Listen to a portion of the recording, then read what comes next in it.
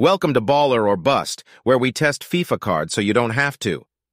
Today we've got this squad with prime icon Edson Arantes Nascimento, aka Pelé. We packed Pele via icon pick, but you can get him on the market for 2.5 million coins.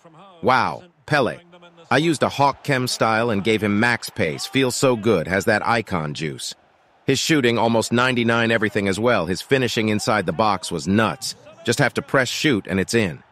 Outside, the foot shot and finesse were both great, and his four-star weak foot felt unreal as well.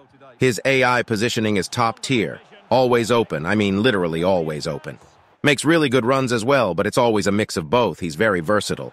U7 by code Zade 6% off. Passing was insane too. Could play perfectly weighted balls every time. Dribbling was Brazilian. He's got five-star skills and amazing dribbling stats, so he feels great with his unique body type. Physicality is actually pretty low, but it didn't feel that bad in game. Overall, I mean, come on, it's Pele.